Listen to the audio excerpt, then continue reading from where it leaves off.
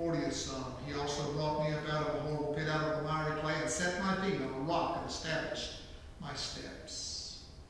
Psalm 116, 8, For you have delivered my soul from death, my eyes from tears, and my feet from falling.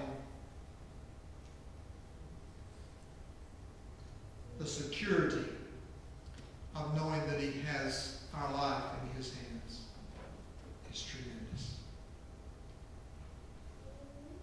Let me just briefly give you a couple of scriptural references for you to look up because I, I want to come to the table of the Lord and remember the promise of Lord. So, King, get ready for that, please. 1 Corinthians 9 and Philippians 4 both talk about the provision of the Lord. He who supplies seed to the sower and bread for food will increase the fruit of your righteousness. My God shall supply all of. First Timothy talks about that when we come under persecution, and it says that we will all face persecution. But when we do, great is our reward as we're persecuted for Christ's sake. And then finally, the promise is that in Father's house are many rooms. If it were not true, I would have told you, I go to prepare a place for you. And if I go and prepare that place, I will come again, and receive you to myself. Where I am, there you may be also. As we come to the table of the Lord this morning, when Jesus called his disciples to that table, he said, I want to take this cup with you eat this bread with you until the day that we do this again. I want you to know the promise of the Lord is if you know him as Lord and Savior, the day will come that you will sit down once again with the King of Kings and Lord of Lords, and he will lay before you a table, and he will serve you his feast. We call it the marriage supper of the Lamb. It's a promise. So in this morning, in this time at the table, come in thanksgiving for his promise, but also come in anticipation of the time that he has prepared for us and promised that is ahead of us. Just as I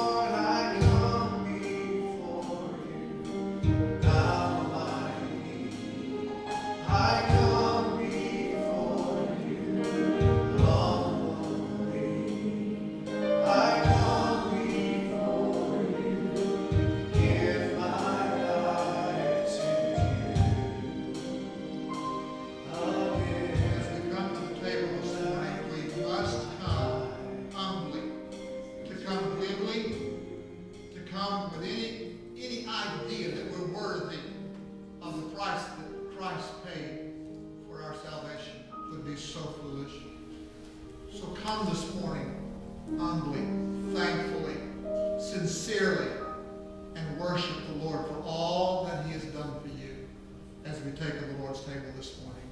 Brethren, bless our angels, please. Lord Jesus, we're all sinners. And yet you, you loved us enough to, to take our sins upon, upon you and, and to die in our place for our forgiveness. We thank you so much for that, Father. We thank you for your love. And we thank you for this supper. And we ask for blessings on this loaf that represents your broken body. It is in your precious name, Lord Jesus, that this prayer is uttered. Thank you, dear Jesus, for this table and your shed blood. The emblem of your covenant was that we might come to you and know that our sins are forgiven by your shed blood. We thank you and praise you and love you and ask you to please use us in your precious name, that others may learn of you and choose to follow you and be obedient, Lord. In your precious name we pray. Amen. As you know the Lord Jesus as your Savior, please take with us and worship the Lord with us this morning.